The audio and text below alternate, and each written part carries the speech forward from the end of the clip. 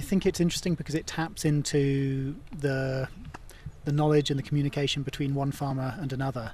So it complements the the very strong uh, agricultural extension system that Ethiopia has. It complements that with learning from one farmer to another, and those the farmers understand each other's circumstances. They understand the problems that they face. They understand the the kind of opportunities and and the constraints that they have. So I think it it's a useful complement to um, what the Ethiopian government is already doing to a very large extent.